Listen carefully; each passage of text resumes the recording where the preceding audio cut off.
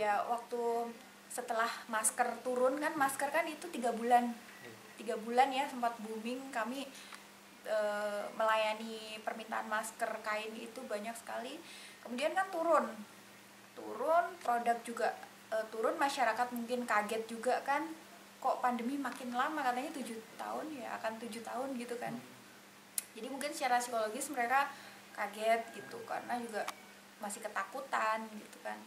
Tapi e, kemudian kok membaik gitu. Terus sempat terpikir aduh bagaimana ini ya? Apa kita ini e, akan berganti bidang gitu kan? Mungkin bukan di fashion. Pernah sih sempat terpikir seperti itu.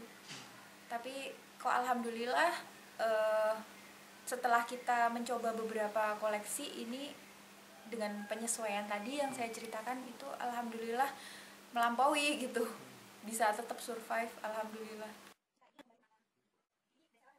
Untuk di masa pandemi untuk Sogan itu memang cukup kaget ya cukup kaget. Tapi kami terus uh, langsung waktu itu uh, membuat masker. Jadi termasuk di awal-awal jadi teman-teman uh, yang lain belum membuat masker kami langsung membagikan masker uh, seribu seribu buah gitu.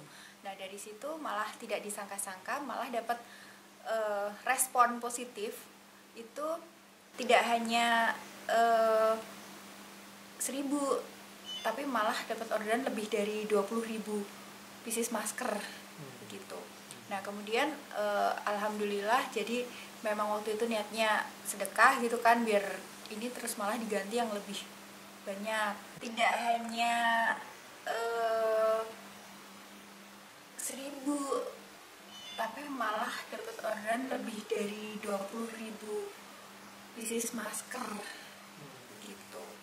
Nah kemudian uh, alhamdulillah jadi memang waktu itu niatnya sedekah gitu kan biar ini terus malah diganti yang lebih banyak.